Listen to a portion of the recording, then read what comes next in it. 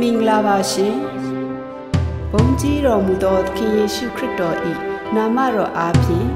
ခွန်အားသည့်နေ့စဉ်နှုတ်ကပတ်တော်အစီအစဉ်မှာကြိုဆိုပါရရှင်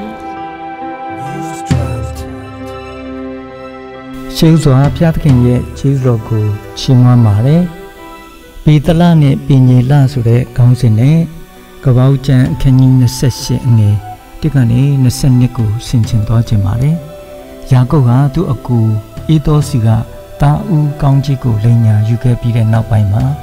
ဤတော်ရဲ့ဘေးရန်ကနေပြီးတော့မှထွက်ပြေးရပါတယ်။အဲ့လိုထွက်ပြေးတဲ့အခါမှာသူ့ရဲ့မိဘတွေကယာကုပ်ရဲ့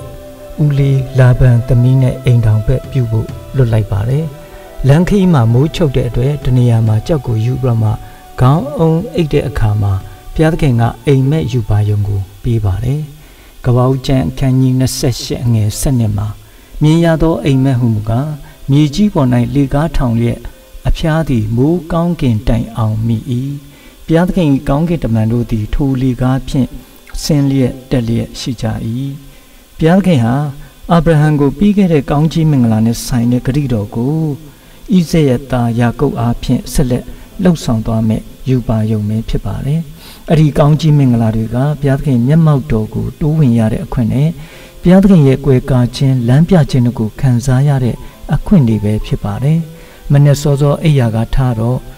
ယာကုပ်ဟာခေါင်းအုံးတဲ့ကြောက်ကိုယူပြီးမှကြောက်ထိတ်ဖျားမှာစီကိုလောင်းပါတယ်။နောက်ပြီးတော့ယာကုပ်ကအဲ့ဒီအရက်ကိုဘေတလဆိုပြီးတော့မှမဲ့ခေါ်ပါတယ်ဘေတလဆိုတဲ့အတိတ်ပဲကတော့ဘုရားသခင်ရဲ့အိမ်တော်လို့အတိတ်ပဲရှိပါတယ်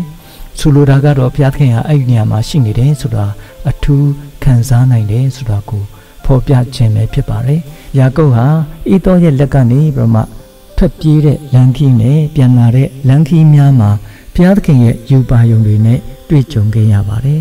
အနည်း20ကြာပြီးမှပြန်လာတဲ့အခါမှာဘုရားသခင်ကိုမျက်နှာချင်းဆိုင်တွေ့ရတဲ့နေရာကိုတော့ပင်ကြီးလားလို့ကပောက်ကျန်အခန်း30နဲ့အငယ်30မှာဖော်ပြထားပြီးတော့မှအတိတ်ဘေကတော့ဘုရားသခင်ရဲ့မျက်နာတော်လို့အတိတ်ပဲရှိပါတယ်ဒီယာကုပ်ရဲ့အိမ်မက်ယူပါယုံကို ယောဟန်အခန်းကြီး1အငယ်51မှာ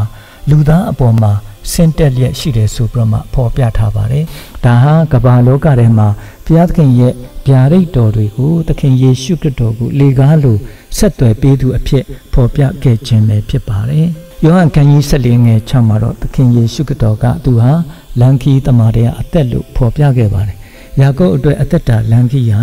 အိမ်မက်မှာဘုရားသခင်ကယူပါယုံပေးတဲ့နေရာမှာပေတလ ဘုရားသခင်ရဲ့ဗိမာန်တော်အဖြစ်နာမည်ပေးခဲ့တယ်လို့ယာကုပ်အတွက်ဘုရားသခင်နဲ့ရင်ဆိုင်တွေ့ရတဲ့အခါမှာတော့ပင်ညေလလို့နာမည်တွေပေးခဲ့ပါတယ်ဒီနေရာနှစ်ခုစလုံးမှာဘုရားသခင်ကိုယဉ်ဆိုင်ခဲ့တဲ့ယာကုပ်အတွက်ကောင်းကြီးတွေဖြစ်ခဲ့ပါတယ်ယာကုပ်ဟာပင်ညေလလို့ခေါ်တဲ့နေရာမှာဘုရားသခင်နဲ့ယဉ်ဆိုင်ရတဲ့အချိန်မှာသူ့ရဲ့နာမည်လိန်လေလေဖျားတတ်တဲ့ယာကုပ်ဆိုတဲ့နာမည်ကနေပြီးတော့မှဘုရားသခင်နဲ့လုံထွေးတပ်ပုတ်သူလို့အတိတ်ပဲရှိတဲ့